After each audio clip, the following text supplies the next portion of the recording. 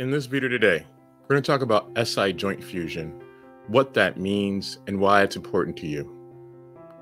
If you have pain in the back that causes you a whole host of different issues, from low back pain to pain from lying on one side for too long, pain when you're moving from sitting to standing, pain after you've had a surgical fusion, or pain when walking up and down stairs, this might be a treatment option for you.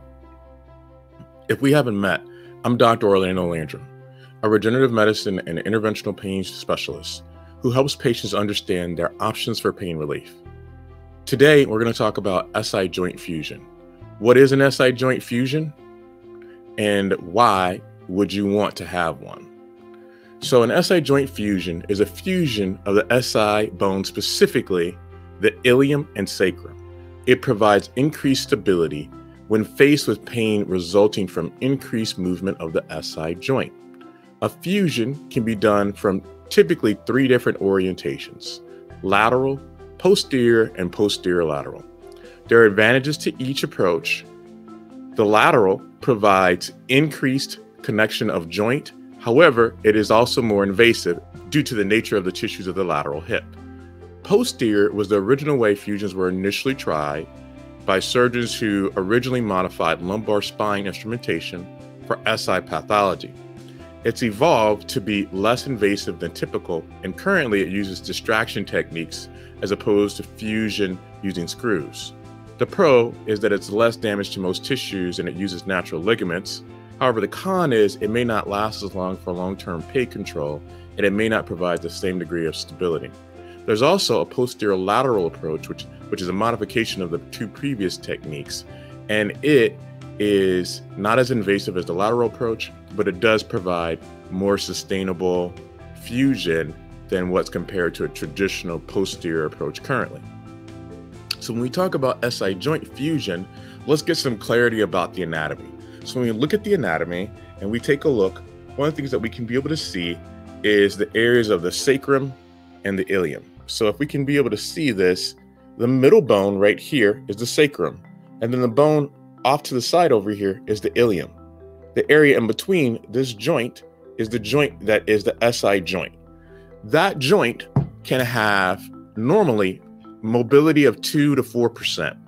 And when that joint has increased mobility, it can frequently result in pain and pain that was, was described earlier that can be localized to that specific region in the gluteal region.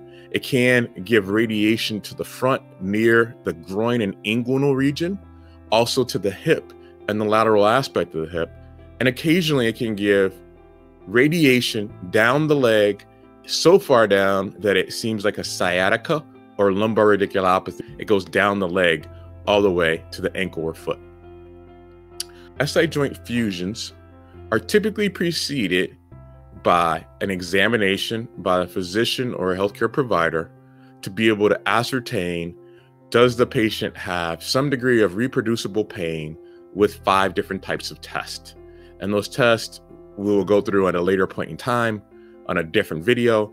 However, that gives some degree of understanding is this a potential source of pain and a treatment option from either traditional SI joint injections, possibly an improvement of the ligaments using prolotherapy and regenerative medicine techniques, or the consideration of radiofrequency ablation to the nerves that supply the joint, or finally, the utilization of a fusion in order to be able to provide some degree of relief.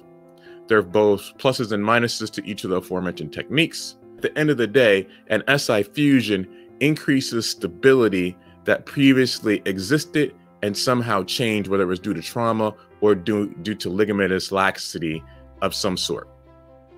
If you found this video helpful, please hit the like button so that other individuals can be able to get this information as well as be able to be connected to other videos like this that may help them if you find that treatments that potentially can help pain for you or someone that you care about is something that is of interest to you, please subscribe to our channel. It will give you value that we think will continue to be beneficial in knowing all your different options that exist.